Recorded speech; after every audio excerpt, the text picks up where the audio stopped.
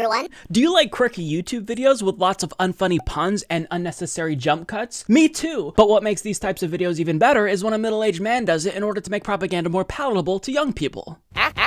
Vote 5, 10, probably, probably, probably, probably, probably, probably, 20, 20. You know, when he raises his voice to a really high pitch like that, I think it just, you know, it really helps to drive home the point. now, I know exactly what you're thinking, Mike. You probably aren't the best person to be criticizing someone else for having an annoying voice, and I hear you, that's absolutely true. But understand something I am self aware.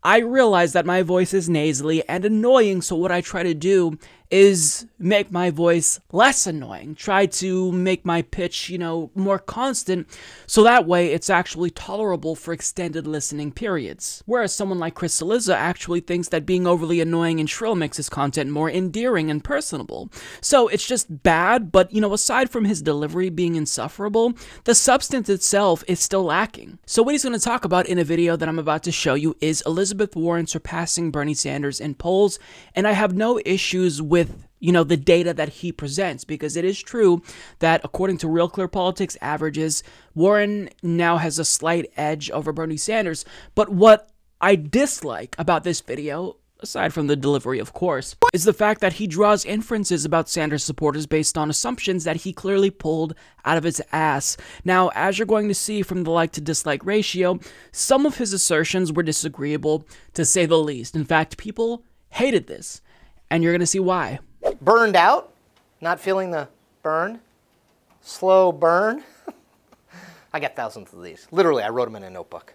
Something has happened to Bernie Sanders over the last few months in the 2020 presidential race. Or more accurately, something has not happened. Sanders, the Vermont Democratic Socialist, is stuck in neutral, and that's a very bad place to be with the day when actual voters will cast actual votes getting closer and closer.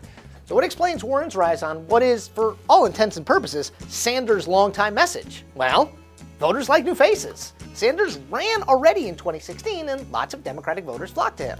But for many of those same voters, it may be a been there, done that situation. Warren is, in their minds, Bernie 2.0, the same proposals in a more voter friendly and electable package. And that gets at the more fundamental problem here for Sanders. The people who love him, love him exactly because he doesn't care about how he looks, perennially unkempt, or what he sounds like, very, very shouty. Those traits make him authentic and different to them. But those same Sandersian traits may be the thing that is keeping him from growing his support in the race in any meaningful and statistically significant way. So if you're a Democrat and you are relentlessly focused on nominating someone who can beat Donald Trump in November 2020, and all polling I've seen suggests that is the dominant motivation for a majority of Democratic voters, then Sanders' profile may keep you from jumping on board his campaign. There's evidence outside the world of polling that Sanders' stall in the numbers is having an impact. In mid September, he replaced his New Hampshire state director, which is never a great sign with the primary now set for mid February. And around that same time, he also lost the endorsement of the Working Families Party to Warren. It's important to note, Working Families endorsed Sanders in 2016. Now, take a breath was very cleansing. It's better to have these struggles in the fall of an off year rather than the middle of a primary season in late winter and early spring of next year. Because of the loyalty of Sanders' core backers, it is hard to imagine him slipping from relevance totally anytime real soon. But his struggle to attract support beyond that hardcore uh, core is real and responsible for the current Sanders stagnation. And that is the point. Even if it were the case that Chris Cillizza actually made decent points in that video, I would still hate him. It'd still be unbearable because of the delivery. 20! 20! But let's get to the arguments he makes. He says Warren, in their minds of the voters, is Bernie 2.0, the same proposals in a more voter friendly and electable package. So much wrong with that. First of all, Bernie Sanders and Elizabeth Warren do not have the same basis of support. There are a couple of polls that indicate that maybe that's starting to change a little bit. But overall, Warren has the support of college educated white liberals. Bernie Sanders has the support of lower socioeconomically disadvantaged people. His support is more multiracial. these are not the same support bases. So it's not like there's a bunch of Sanders supporters who supported him in 2016 but are now saying, you know what? I like this new and improved version of Bernie Sanders better. I'm going to switch to Elizabeth Warren. You know, maybe some people are saying that, but to say that that is, uh, or suggest that that is a large portion as to why Elizabeth Warren is surging, I think that that is not really based on anything a part of the reason why I think Warren is surging is because she has recently become the media darling, because the establishment clearly wants anyone but Bernie Sanders, and they realize that there is that appeal among progressives. People want a change candidate, and Elizabeth Warren is that type of change candidate to a much lesser extent than Bernie Sanders, but she is a change candidate nonetheless. So they're trying to use Elizabeth Warren to take down Bernie Sanders. That's the goal, essentially. That's what I would guess, anyways.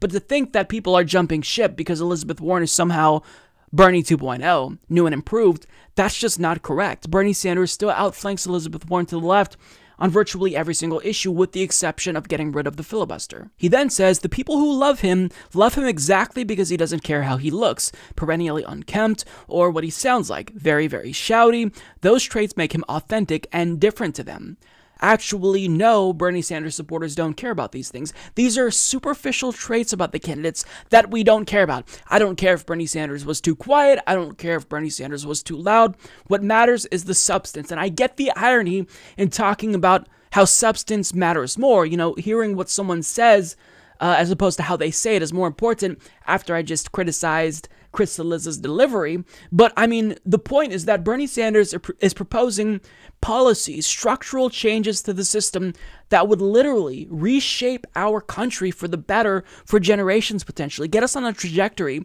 of social democracy. He's proposing policies that would change the lives of Americans, save lives literally if we get Medicare for all codified into law. So for you to say we like him because he has messy hair and he yells and that seems authentic. Um, no, that's bullshit. But of course, Chris Cillizza is someone who thinks that if you be quirky and act like a 12 year old YouTube makeup tutorial guru, that that's going to get people to like him. So to him, in his mind, he thinks that superficiality is important. But in actuality, people don't actually care about that. But he then goes on to say those same Sandersian traits may be what's keeping him from growing his support in the race in any meaningful and statistically significant way. He also says that if you're a Democrat concerned about beating Trump, which most Democrats are concerned with, that's their top priority, you know, Bernie Sanders' profile, the way that he talks, um, the way that he's unkempt may keep you from jumping on board because that makes him seem unelectable. Except, why was Donald Trump able to get elected when he was not a conventional candidate?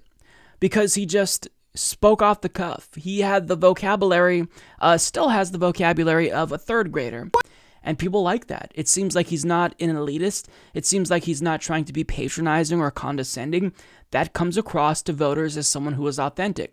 So, if anything, the fact that Bernie Sanders doesn't give a shit about these things, um, that should theoretically make him uh, not less appealing, but maybe more appealing, but it's not going to be the determining factor. And to suggest that Elizabeth Warren is more electable than Donald Trump when poll after poll shows that Bernie Sanders defeats Donald Trump by one of the widest margins, when he defeats Donald Trump in the Rust Belt by double digits in some of those states, according to some polls. I mean, you're just making this up. That's why there's so many dislikes, Chris. You get that, right? Because you are saying these things, you're making these assertions, but you don't have the data to back it up. You're not talking to voters. You're not basing this off of even anecdotal evidence. You're just saying what you feel. And that's not a really good way to do political commentary because if people see that you don't have your finger on the pulse of America, they're going to realize that you're full of shit and you're just a paid propagandist for CNN who does these quirky segments that are intended, I'm assuming, to appeal to younger people. But this just comes across as patronizing and irritating, to be honest. So at the end of the day, I don't know what else to say about this. Anytime Chris Cillizza comes out with a video about Bernie Sanders or some type of policy, you know, I cringe because I don't know what type of misinformation or bogus assertions he's going to make that are harmful. He peddled the idea in a video about Medicare for All recently that was also heavily disliked that claimed people don't really like Medicare for All, when most polls show that Medicare for All is in fact overwhelmingly popular, especially among the Democratic Party base. So, I mean, this is misinformation. We should be relying on news agencies to educate voters, especially if you are appealing to youth voters, right?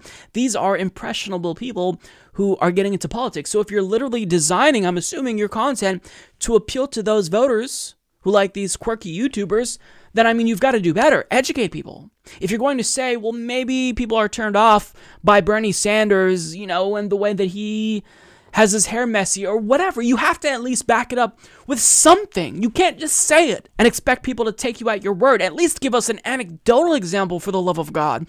But I mean, this is the type of laziness and sloppy hackery that we've come to expect from mainstream media. And Chris Cillizza is one of the worst, to be honest, uh, as of late. He just he bases his opinions off of nothing.